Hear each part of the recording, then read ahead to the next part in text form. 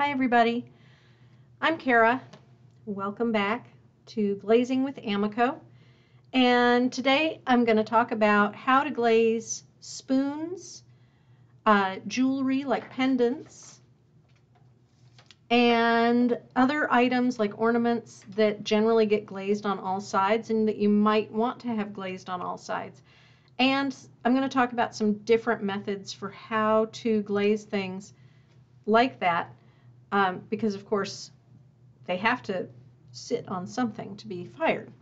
So uh, last week I did the sprinkle glazing with Celadons and I have a the plate came out of the kiln and here it is. Came out pretty good. Let me go back. So you can see the color really nicely. Uh, I think if I was to do this again, which I'm probably going to do again, I'm going to experiment with some different background colors instead of snow. And I'm also going to experiment with using smaller glaze chips. So if you hadn't seen that video, that is on our YouTube under the live videos for special effects. So let me see. Yeah, I thought that came out really well. Sorry, I'm using some different uh, methods for seeing my, my comments today. We'll see how this goes. Uh, hi Sherry, hi Rebecca, and uh, Mardi Gras. Yeah, it does. It does have a Mardi Gras look to it, doesn't it? It is. It is very playful, uh, like confetti. So um, I I think that was a lot of fun. Definitely going to do that again. So today I'm going to, hang on a moment, I'm going to uh, be glazing spoons. So this is a spoon that I glazed. And my preferred method for glazing things like this, where I want them to be glazed on all sides, is to use stilts. So for this, I used this kind of stilt. These kind of stilts um, have lots of little teeth, but it's great for holding up something like this. And I balanced it so that it would, uh, the spoon part was not where the spikes were. That way it would, um, uh, could you could actually put it in your mouth and it would be smooth on all sides of the spoon because I didn't want to have the rough bits where the where the uh, oh, sorry the rough bits where the uh, uh, spikes of the stilt kind of cut into it. Now what I do to make sure that I'm not getting any uh, marks is I use this. It is a tool made by uh, Kemper, and it looks, it always looks to me like a, a piece of jicama. Uh, but it is like a sanding stick. It is a little brick of material. I've already sanded these off and they're they're they make little lumps because the glaze ran a little bit but at least they're not they're not going to bite you. They're not sharp. And you just use it like sandpaper. Sorry about the sound. Now, if you don't want to have marks from stilts, as I did with this, there are other options. So, one. Still not seeing anything on the Facebook pages. Uh, it's on.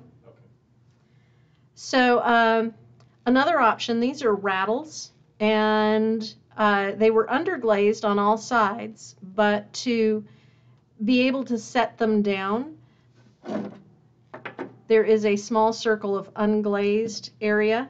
Now, there are things like maybe you're making Christmas ornaments and you don't want to have an unglazed bottom. You can leave the top unglazed. And I'm going to show you.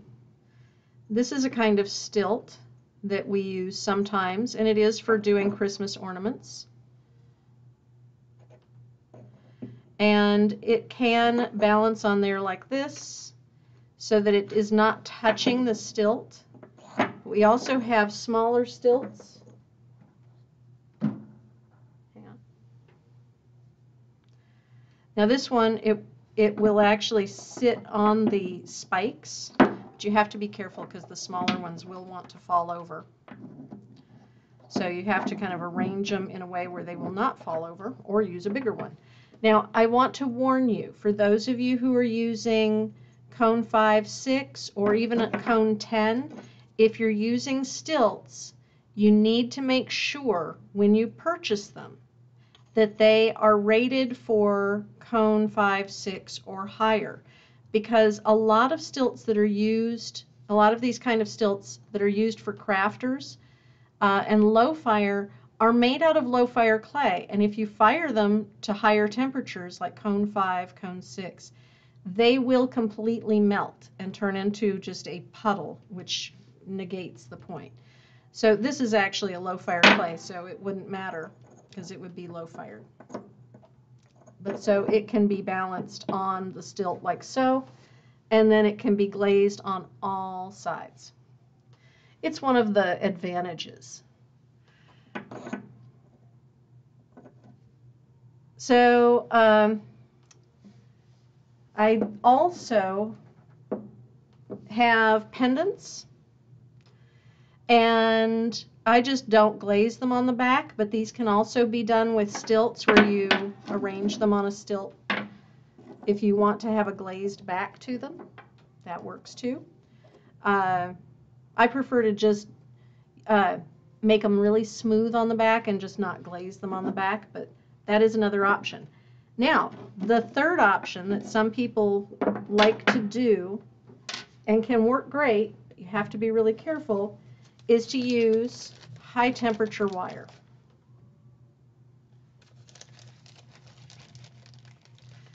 And again, you need to make sure that this is rated for the firing temperature that you're using. You only can find this at ceramic supply stores. This is not wire that you would find in a hardware store. So this is high temperature wire and you can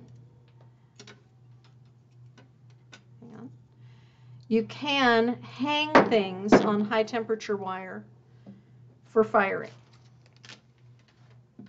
So for a pendant, for example, you can hang it on a wire and then it can be glazed on all sides.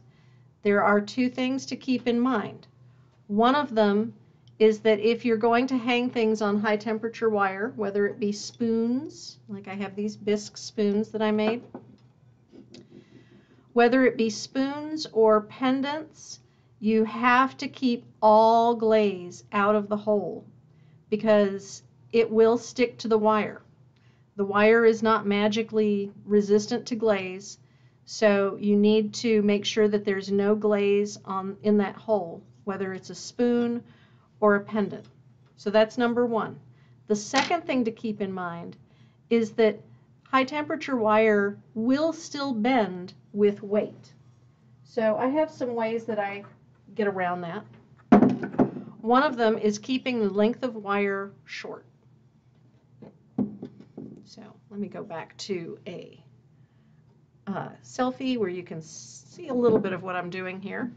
So I have two posts and I can first of all bend my wire to go into the posts. That will help. Second, I can put another post on top and that weight will help the wire to stay in place. So it it may bend, it may stretch, but it won't go so far as to touch The second thing is make that wire short and don't load up a bunch of stuff. If you have a bunch of things on a wire, like let's say I have two spoons on this wire. What may happen is that as the wire bends in firing, they will join together and meet, and then you have two spoons stuck together. So try to do as few items as possible on each wire. So that's another option. So there's one last one that I've done with some things from time to time, is just to not glaze them, like I said with this, not glazing on the bottom. Well, with the spoons, with, the spoons, one thing I can do is again glaze just the part that will contact the mouth and then prop it in a post and just not glaze the other parts. So I have some ancient copper today. And I'm going to glaze this so that it will have some unglazed areas on the back. And I'll still stilt it, and then it can be, uh, it will have very few, if any, stilt marks. So questions about how to do spoons or jewelry or other things that have uh, that, that you might want to have glaze on all the surfaces. Um, no activity on Facebook.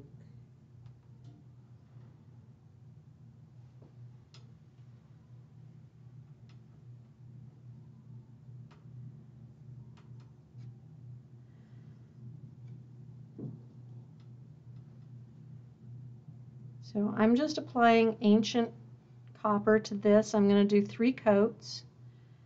And and then I'll fire it at cone six and I'll bring it back in two weeks. In two weeks, I'm going to come back and I'm doing some testing with ancient jasper for getting the best results with ancient jasper. Even though ancient jasper is a glaze that we have been making for many, many, many years, we do still have questions about how to get the best results with it because it depending on your clay body, on your uh, firing, like it it does it, it looks really different depending on clay body, on firings, uh, uh, final temperature. Like the difference between cone five and cone six is is uh, very interesting. So It's a very nice red color on the screen, but it's actually in real life darker.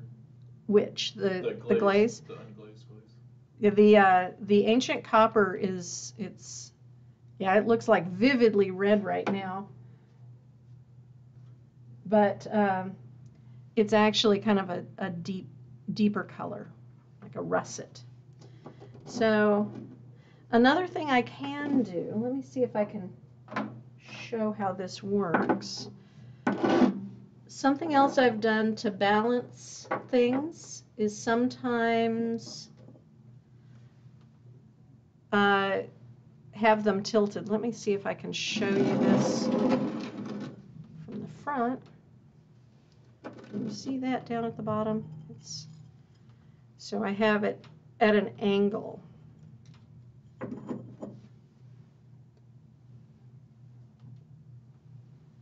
Have that at an angle so that you can, uh, it, it makes sure that the spoon part is not, does not have to have any spikes underneath it. And as for making spoons, I just get a piece of clay and just one piece of clay and just model them and uh, and then put a hole if I want to hang them for decorative use. I don't use spoons for functional things, but I do sometimes uh, use them decoratively. So. Um, and the warp, the spoon will not warp. Uh, so the, the spoon's going to sit on these stilts. And just like this spoon, um, it will have some marks where the where the, the stilt touched the glaze. But I just sand those down.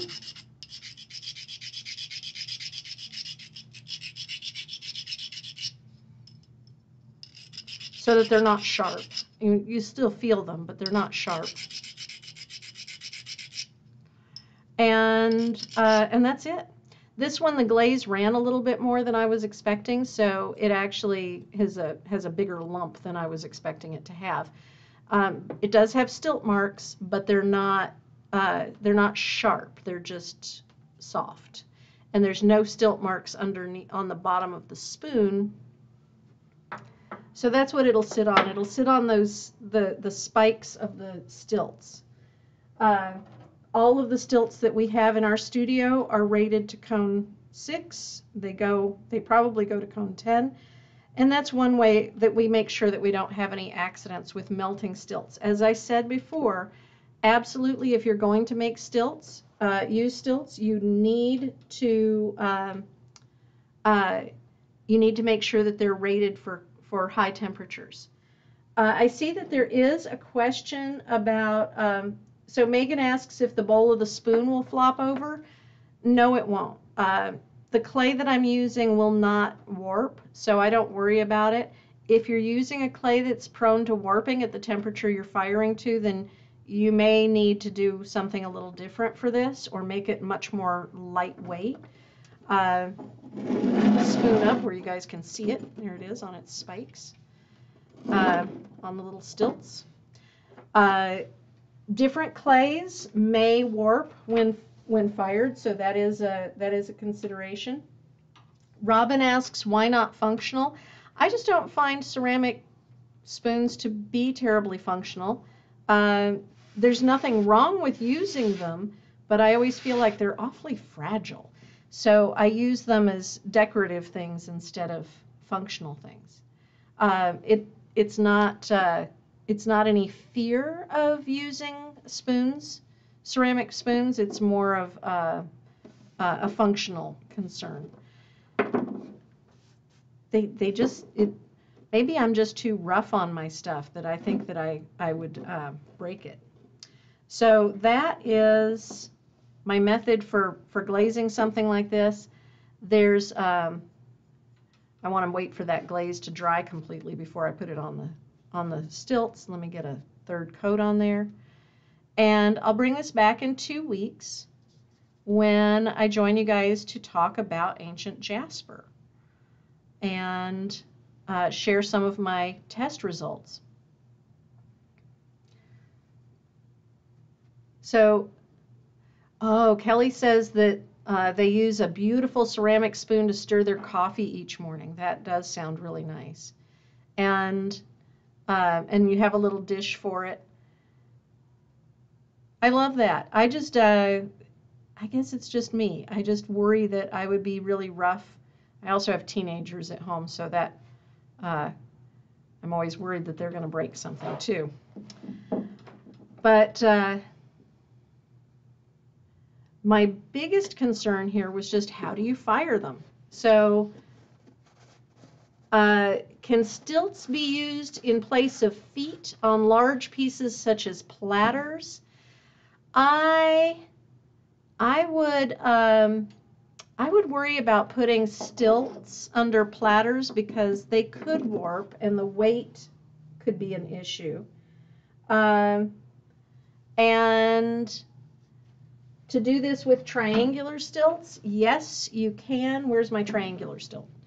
Uh, you can do this with a triangular stilt, but it's harder to do with a triangular stilt.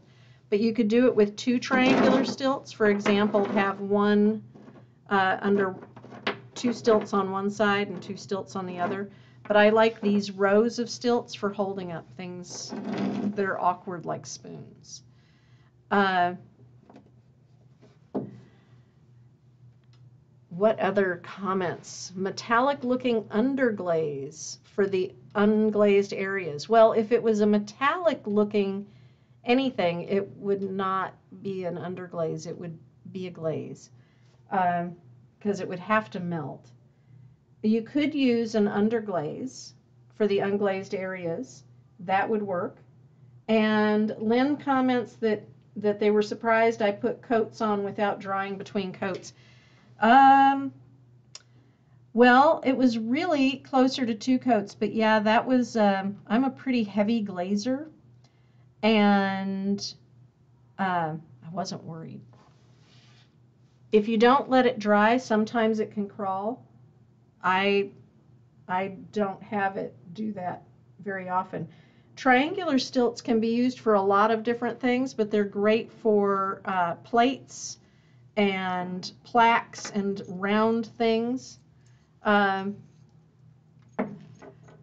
something like this can be fired on a round stilt, on a triangular stilt really easily.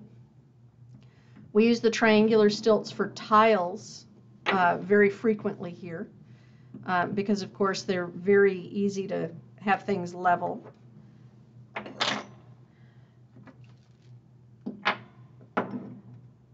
And uh, let's see. Have I missed any questions? I think that I've I've seen most of the questions.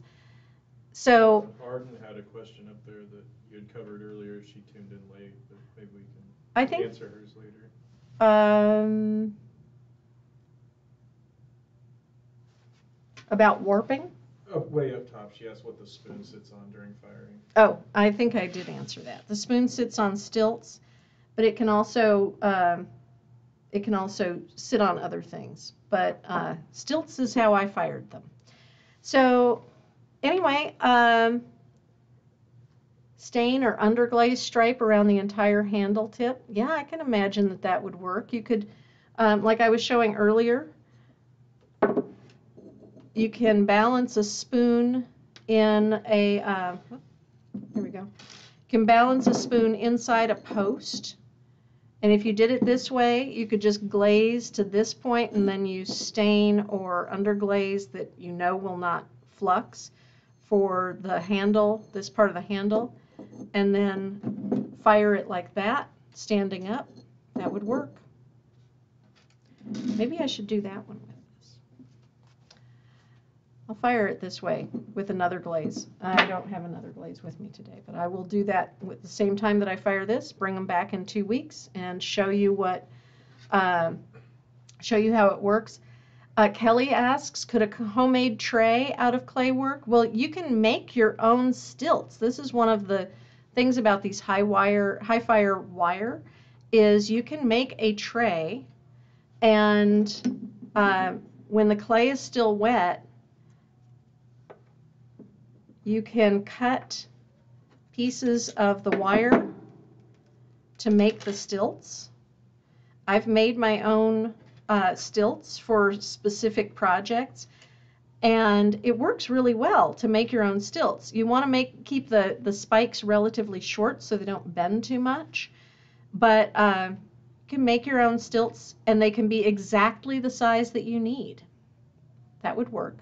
I don't know about a tray um, are you make, meaning just a regular tray or, pardon me, a tray for holding, uh, for holding spoons? I'm not sure. So, uh, uh, Maggie, I'll have to talk about your ochre celadon another time because that's that's way off topic today. And uh, again, for those of you who tuned in late, here is my sprinkle plate from uh, from last week, and I'm really happy with how it turned out. So if you didn't see that, tune into that. Um, uh, oh, a tray for with a bunch of holes to hold handles. Yes, you could do that. That would work pretty well. Uh, give it a try and let us show us how it goes because that sounds really interesting. So I will see you guys in two weeks, and um, thank you for joining me. Uh, if you have questions, let us know. You can message me at Amaco Brent and uh, on Facebook. You can message me on Instagram, uh, also on YouTube. If you're watching this on YouTube, please go ahead and subscribe. And I will see you all next time. Happy glazing.